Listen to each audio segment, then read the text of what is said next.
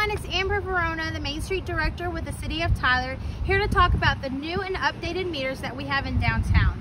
We currently have them on Ferguson and College right adjacent to the square. So we have 32 total as we work on the full implementation. But I wanted to show you the cool new features that we have on these 32. So as you can see, they look a little different. They still have the coin slot, so you can still use your original coins, but now they have this option to use your credit card. So you slide in your credit card, it instantly gives you two hours, and then that's it. But a really cool hands-free option that is now included in these 32 is actually an app. So you can go to the App Store, look for Park Smarter, look for this logo, and you download it. From there, it's gonna prompt you to two easy steps. All you have to do is put in a phone number and it sends you a verification and you uh, text message and then you put in a password and then bam, you're in the app.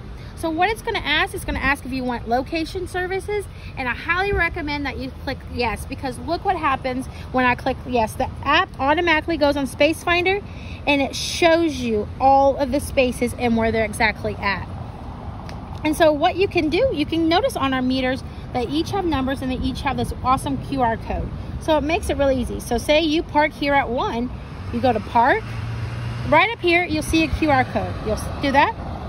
You go right to the QR code and it registers that you're in space one, says you want two hours and you can start parking. And from there you can create, you can either create an account that allows you to only have to put your information in once or you can do it as a guest and it will just charge your credit card the one time. But it's really awesome if you create the account. That means you can look at the app on your app, how much time you have left, if you need to expire, if you need to extend it, or if you need to see your past bills or anything like that. So it's really awesome to have a real simple account.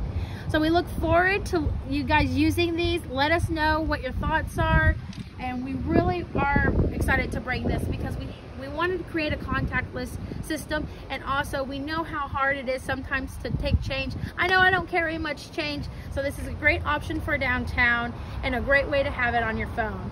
So we look forward to having you in downtown. You'll have a great one